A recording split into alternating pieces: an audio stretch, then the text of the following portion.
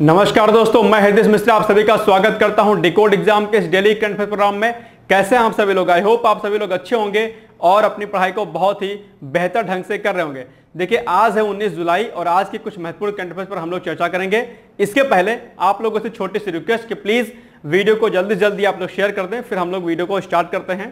और चूँकि समय आपके एग्ज़ाम का आ रहा है तो ऐसे में आप आप लोग जो है पढ़ाई को अच्छे तरीके से करते रहिए। ये बात मैं आपसे डेली कहता हूँ कि ताकि हर दिन जो है आप अपनी मेहनत को जो है थोड़ा सा बढ़ाते चलें। धीरे धीरे अपनी स्पीड को, पढ़ने की स्पीड को आप लोग क्या करिए थोड़ा सा जो है इंक्रीज करिए ताकि समय के साथ आपकी चीज़ें क्या हों कंप्लीट हो जाएँ और आपका जो है रिवीजन हो जाए प्रॉपर तरीके से, ये स्थिति ना होने पाए कि जो है दिक्कत आपको हो जाए। ठीक है? तो ये कुछ महत्वपूर्ण बातें थी। आई होप आपको चीज़ें सामने आई होंगी और हम लोग वीडियो को स्टार्ट करें, इसके पहले हम लोग लास्ट डे का, यानी कि 18 जुलाई, यानी कि 18 जुलाई के जो करंट अफेयर्स हमने किए थे, उसका हम लोग रिविजन करते हैं, और उसके बाद फिर हम लोग 19 जुलाई के करंट अफेयर्स पर आएँगे।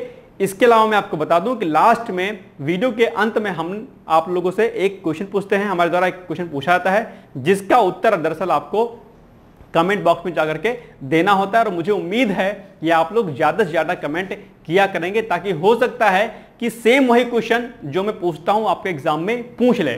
ठीक है? तब आपको समझ में आएगा कि यार कमेंट कर कर देते, शायद वो चीज़ें दिमाग में रहती। क्योंकि जब आप कोई चीज़ सर्च करते हो, देखते हो गूगल पर देखते हो तो क्या होता है उससे, जब आप एक चीज़ सर्च करते हो तो उससे कई अन्य चीज़ें आपके समझ में और आती हैं, यानी कि कई अन्य टॉपिक आपको और ज़्यादा समझ में आ जाते हैं बेहतर तरीके से। तो ये कुछ फ़ायदा होता है जब आप किसी टॉपिक पर काम करते हो वर्क करते हो। ठीक है? तो आप लोग प्लीज़ कमेंट ज़रूर किया करिए, साथ ही साथ में लाइक ज़रूर कर दिया करिए। चलो।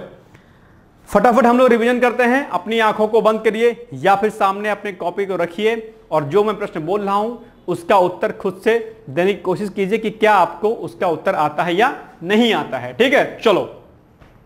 पहला प्रश्न था कि हाल ही में सुई नाम के अगले राजदूत के रूप में किसे नियुक्त किया गया है? आप लोग फटाफट बताइए, इसका राइट आंसर क्या होगा? या अपने मन में आप बताइए कि इसका उत्तर क्या होगा? तो वो होंगे सुभाष गुप्ता भी हाल ही में सुरीनाम के अगले राजदूत के रूप में क्या है? नियुक्त हुए हैं। इसके अलावा, हाल ही में किस शहर के द्वारा एक दिन में 11 लाख के ऊपर पौधारोपण किया गया है? वो शहर कौन सा है? वो है आपका इंदौर। इसके अलावा, हाल ही में किसे भारत के नए विदेश सचिव के रूप में दरअसल नियुक्त किया गया है? यह प्रश्न हमने दो बार मैं इसको करा चुका हूँ। ठीक है तो इसका उत्तर हो जाएगा विक्रम मिश्री।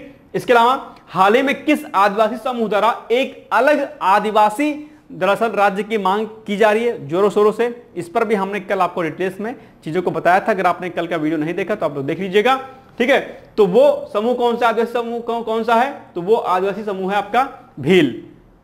इसके अलावा नेक्स्ट क्वेश्चन है आपके सामने कि हाल ही में यानी कि भारत का वस्तु एवं सेवा निर्यात जून 2024 में कितना हो गया है? तो वो हो गया 65.47 अरब अमेरिकी डॉलर। याद रखिएगा। इसके अलावा हाल ही में प्रधानमंत्री मोदी द्वारा किस दिन ठाड़े बोरीवली दिन जो है ट्विन टनल परियोजना की आधारशिला रखी गई है? तो वो रखी गई है आपकी थर्टीन जुलाई, यानी कि तेरह जुलाई को याद रखिएगा। इसके अलावा अंतरराष्ट्रीय आपराधिक न्याय दिवस मनाया जाता है।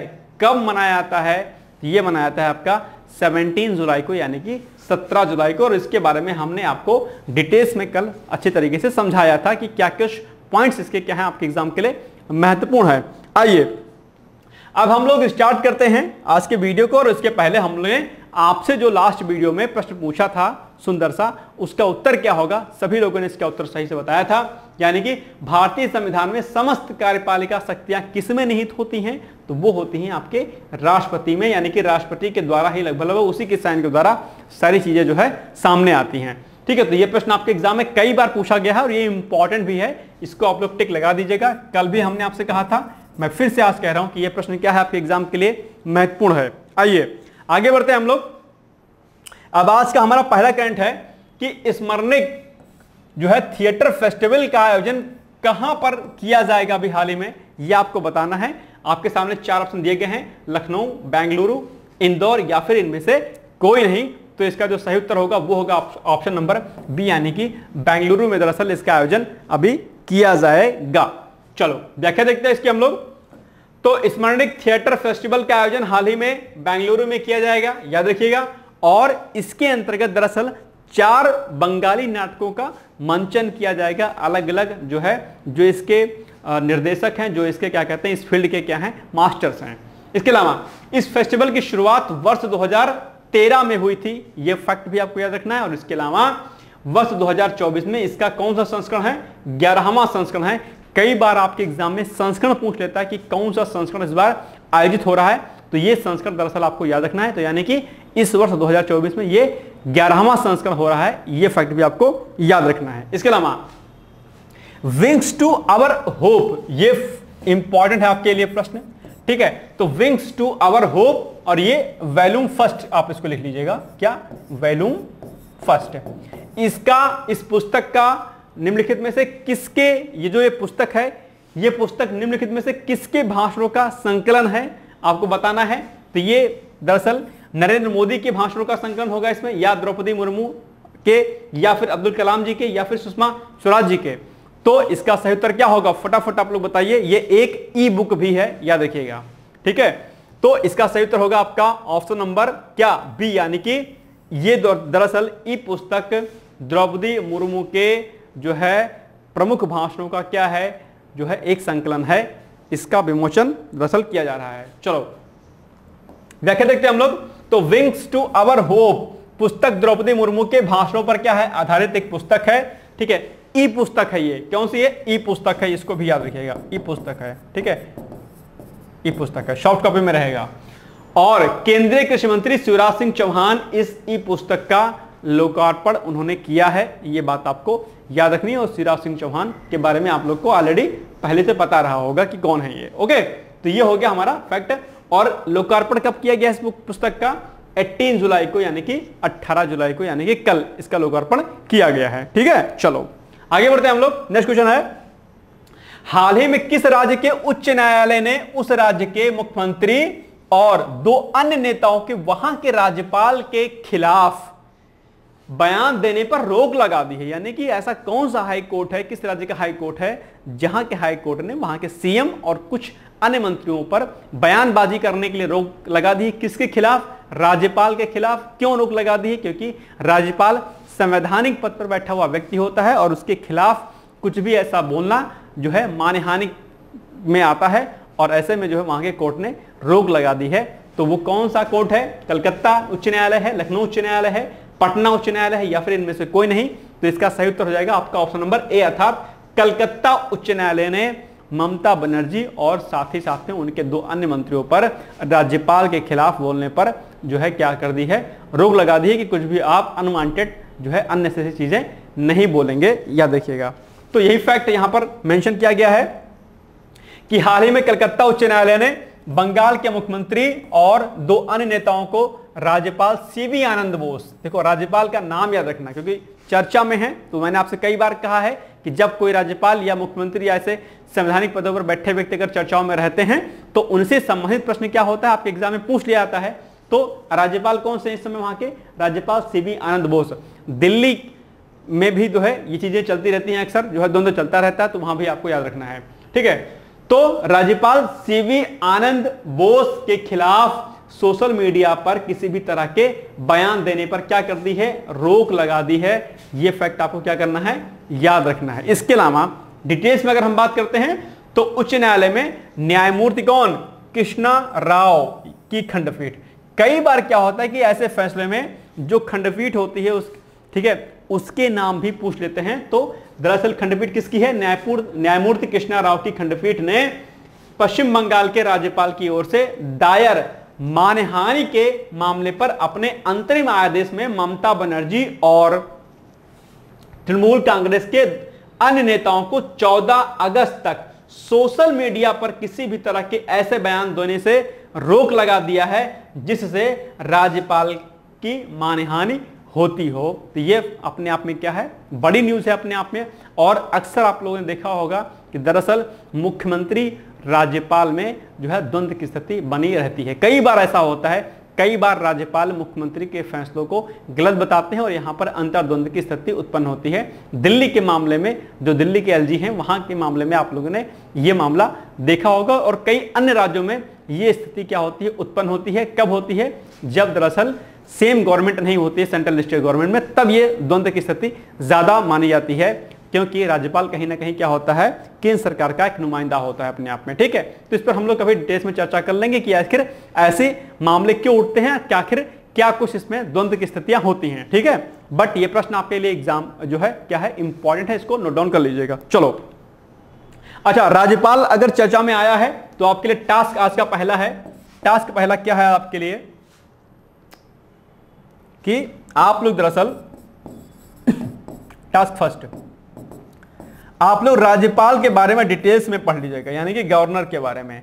राज्यपाल की क्या क्या शक्तियाँ होती हैं, राज्यपाल की नियुक्ति कैसे होती है, ठीक है, राज्यपाल के क्या कुछ अधिकार होते हैं तो चूँकि चर्चाओं में है राज्यपाल यानी गवर्नर तो आपको इसके बारे में डिटेल्स में पढ़ना है। टास्क आज का ये पहला है कि गवर्नर के बारे में, यानी कि राज्यपाल के बारे में आपको पढ़ना है। ठीक है, चलो, आगे बढ़ते हैं हम लोग।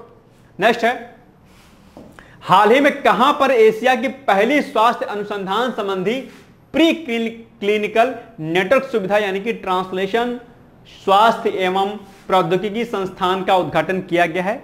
चार ऑप्शन आपके सामने दिए गए हैं। फरीदाबाद, लखनऊ, मुंबई, सीतापुर। बताइए इसका सही उत्तर क्या होगा? तो इसका सही उत्तर होगा आपका ऑप्शन नंबर क्या हो जाएगा? कहाँ पर? फरीदाबाद में दरअसल इसका उद्घाटन अभी किया जा रहा है। आइए फैक्ट हम लोग देखते हैं इसके फटाफट। तो हाल ही में फरीदाबाद में एशिया की पहली स्वास्थ्य अनुसंधान संबंधी प्री क्लिनिकल नेटवर्क सुविधा, यानी कि ट्रांसनेशनल स्वास्थ्य एवं प्रौद्योगिकी संस्थान का उद्घाटन क्या किया गया है? उद्घाटन यहाँ पर किया गया है। इसके अलावा, यह दुनिया में नवी और पूरी एशिया में ऐसी पहली नेटवर्क प्रयोगशाला होगी तो ये अपने आप में क्या है? एक अच्छी उपलब्धि है भारत के लिए, और ये फैक्ट आपके लिए क्या है? इंपॉर्टेंट है। और कई बार मैंने आपसे कहा है कि अगर कोई चीज़ वैश्विक स्तर पर भारत में पहली बार हो रही हो या चर्चाओं में बहुत ज़्यादा रही हो तो ऐसे न्यूज़ आपके एग्ज़ाम के लिए क्या होती है, महत्वपूर्ण होती है और ये भारत के लिए क्या एक उपलब्धि है, ऐसे में ये प्रश्न आपके एग्ज़ाम में पूछा जा सकता है, याद रखिएगा। चलो, आगे बढ़ते हैं हम लोग।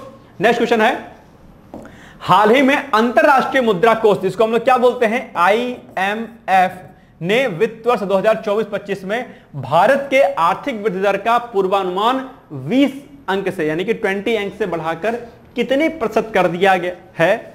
चार ऑप्शन दिए गए हैं। चार प्रतिशत, पाँच प्रतिशत, सात प्रतिशत या दस प्रतिशत।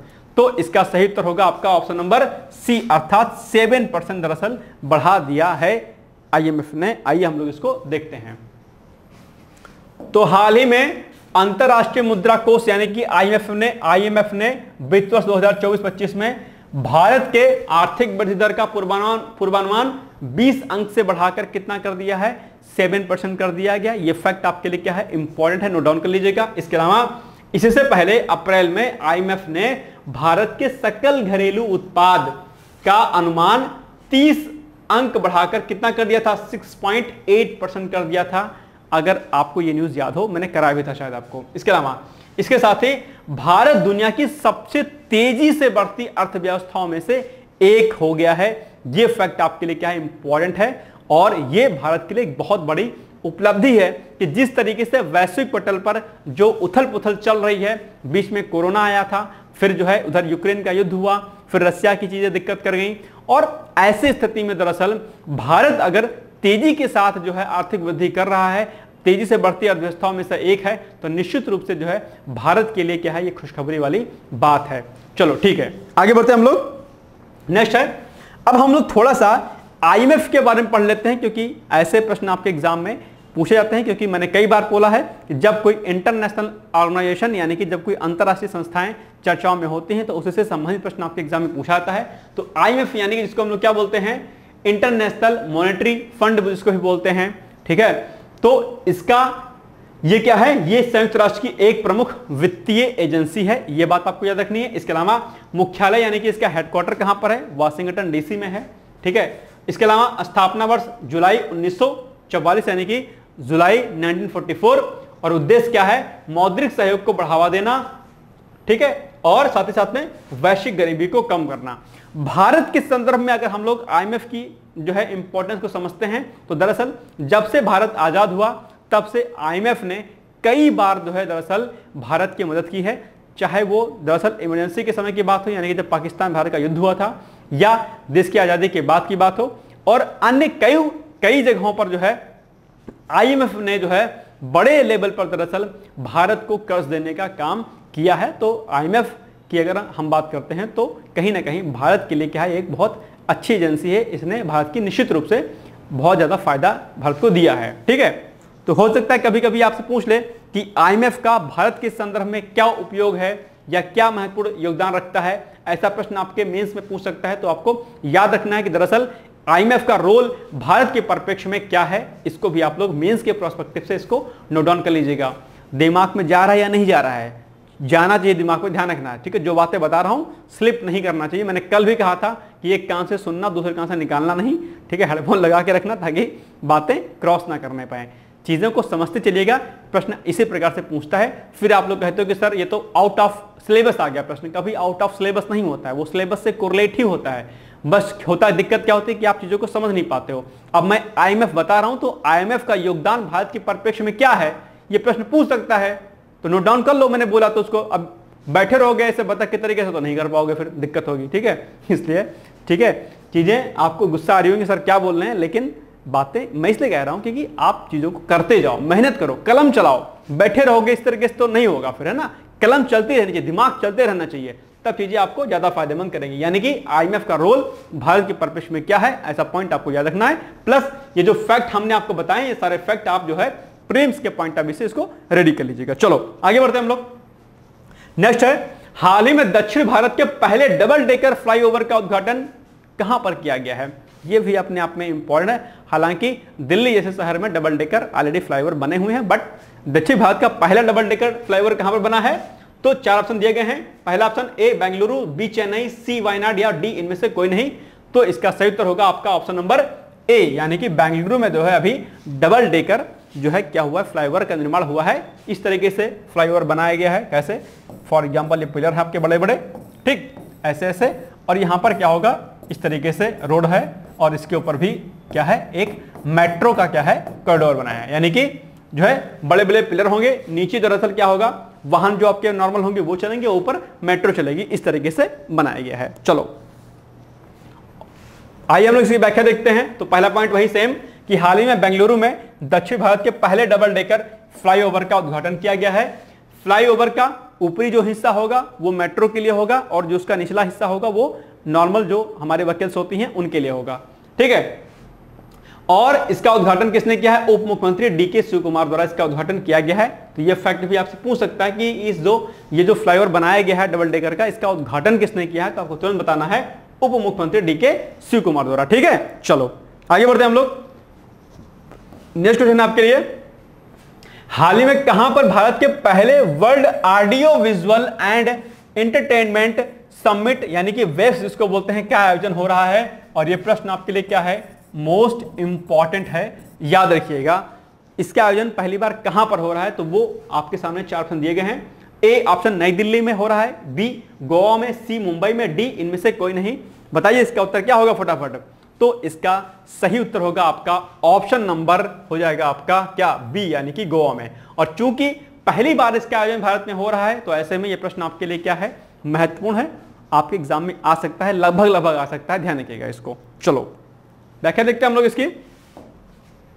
हाल ही में गोवा में भारत के पहले world audio, visual and entertainment summit, यानी कि वेब्स का आयोजन हो रहा है। और आयोजन कब से कब तक हो रहा है, ये डेट आप लोग याद रखिएगा।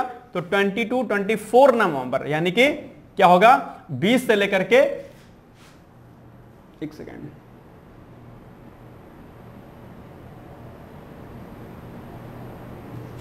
जस्ट वेट ये आ गया। यानी कि इसका आयोजन 20 से लेकर के 24 नवंबर 2024 के मध्य में आयोजित किया जाएगा। डेट याद रखना, कई बार आपको जो है एग्ज़ाम में आपके डेट पूछ लेता है तो ये आपको याद रखना है। इसके अलावा, वेब्स का आयोजन पचपनवे भारतीय अंतर्राष्ट्रीय फ़िल्म महोत्सव के साथ आयोजित किया जाएगा। यानी कि जो आपका पचपनवा भारतीय अंतर्राष्ट्रीय फ़िल्म महोत्सव है, उसी के दौरान दरअसल इसका आयोजन किया जाएगा। तो ये फैक्ट भी आपको याद रखना है। और जो ये आपका पचपनवा जो है, भारतीय अंतर्राष्ट्रीय फ़िल्म महोत्सव है, ये भी आपके लिए एग्ज़ाम के लिए क्या है इंपॉर्टेंट है। यहाँ से भी कई बार प्रश्न पूछ लेता है तो इसको भी आपको फैक्ट इसके भी आप लोग देख लीजिएगा। गूगल पे सर्च करिएगा, भारतीय अंतर्राष्ट्रीय फ़िल्म महोत्सव। इसके बारे में जो कुछ फैक्ट डेटा आपके पास आएगा, उसको आपको रेडी कर लेना है। तो टास्क आपका दूसरा क्या है? टास्क टू आपका यही है। कौन सा? टास्क टू आपका यह है कि पचपनवा जो भारतीय अंतर्राष्ट्रीय फ़िल्म महोत्सव है, उसके बारे में जो कुछ फैक्ट है, उसको आप लोग एक बार नोट डाउन कर लीजिएगा। ठीक है? तो दो टास्क आज हमने आपको दिए हैं। चलो नेक्स्ट क्वेश्चन है। लास्ट क्वेश्चन, कि हाल ही में रवांडा के नए राष्ट्रपति कौन चुने गए हैं? आपको बताना है। पहला ऑप्शन, पोल कागामे, मोहम्मद फिर इरफान, मसूद आलम या फिर डी, शेख अब्दुल्ला। तो इसका सही उत्तर होगा आपका ऑप्शन नंबर ए, अर्थात पोल कागामे। हाल ही में रवांडा के नए राष्ट्रपति क्या हुए हैं? चुने गए हैं, याद रखिएगा। चलो, हम लोग देखते हैं फैक्ट इसके अलग अलग तो रवांडा के नए राष्ट्रपति कौन? पोल कागामे। और रवांडा के बारे में दो तीन फैक्ट हम लोग देखते हैं फटाफट। पहला फैक्ट कि यह मध्य पूर्व अफ्रीका में स्थित एक छोटा सा क्या है, देश है। इसके अलावा राजधानी क्या है किगाली है करेंसी क्या है रवांडा फ्रैंक है। और इसके दक्षिण में, यानी कि जो मैप अगर आप देखेंगे, ठीक है तो इसके दक्षिण में क्या है बुरुंडी है, पूर्व में तंजानिया उत्तर में युगांडा और पश्चिम में कांगो लोकतांत्रिक गणराज्य है। ठीक है तो ये एक बार आप लोग मैप देख लीजिएगा, मैप आज जो है नहीं लग पाया है। ठीक है, इसके अलावा दो अफ्रीकी नदियाँ नील और कांगो रवांडा से होकर के गुजरती हैं। यह फैक्ट भी आपके लिए क्या है? इंपॉर्टेंट है। और किवू झील, इसको याद रखिएगा। किवू झील रवांडा को पश्चिम में कांगो लोकतांत्रिक गणराज्य से क्या करती हैं? अलग करती हैं। ऐसे फैक्ट आपके एग्ज़ाम में कई बार पूछा जाता है। ठीक है तो जब भी आप करंट को रेडी करें तो इस प्रकार के प्रश्नों को, जो दो फैक्ट यहाँ पर दिए गए हैं, ये दो फैक्ट आपके लिए क्या है? इंपॉर्टेंट है। इसको आप लोग नोट डाउन कर लीजिएगा। ठीक है, चलो। अब आज का प्रश्न आपके लिए कि बताना आपको क्या इसका सही उत्तर होगा। आपको बताना है कि राष्ट्रपति के निर्वाचन की जो न्यूनतम उम्र होती है, वो कितनी होती है। बहुत आसान सा प्रश्न है रिपीटेड क्वेश्चन है। और कई बार क्या होता है, इसमें कंफ्यूजन की स्थिति हो जाती है, इसलिए मैंने इसको डाल दिया है प्रश्न, कि कंफ्यूजन ना हो आपको, ठीक है? क्योंकि कई बार क्या होता है, अब देखो 25 30 35 ठीक है? ये तीन तो बड़े आसान मतलब लग रहा है कि इनमें से कोई होगा। 18 शायद मुश्किल लग रहा होगा आपको, हो सकता है किसी को लग भी रहा हो। तो कंफ्यूजन कई बार हो जाता है इसलिए कंफ्यूजन ना हो, इसलिए हमने आपको प्रश्न को दिया है। तो आपको बताना है कि राष्ट्रपति के निर्वाचन की न्यूनतम उम्र कितनी होती है, आपको कमेंट बॉक्स में जाकर के कमेंट करके मुझे बताना है और लाइक वीडियो को ज़रूर कर देना है, ठीक है? चलो, अब हम आते हैं आज के मुख्य परीक्षा के अभ्यास प्रश्न पर। तो आज का हमारा जो प्रश्न है वो टिप्पणी वाला है, यानी कि जिस पर टिप्पणी आपको लिखनी है, एक टिप्पणी आपको लिखनी है आईएमएफ पर, यानी कि अंतरराष्ट्रीय मुद्रा कोष पर, और दूसरी टिप्पणी लिखनी है आपको डब्ल्यू पर, यानी कि वर्ल्ड ट्रेड ऑर्गेनाइजेशन, यानी कि विश्व व्यापार संगठन के ऊपर आपको टिप्पणी लिखनी है। दोनों जो संस्थाएँ हैं आपकी, एग्ज़ाम के लिए क्या है, महत्वपूर्ण है, और दोनों पर आपको क्या करनी है, टिप्पणी लिखनी है। ठीक है? तो ये हो गया आज का हमारा महत्वपूर्ण वीडियो सेक्शन, और कल मिलेंगे हम लोग एक नए कैंडिडेट वीडियो के साथ। तब तक आप लोग पढ़ते रहिए, मस्त रहिए, व्यस्त रहिए। मिलते हैं कल, तब तक के लिए जय हिंद, जय Bharat. Thank you thank you so much bye take care all the best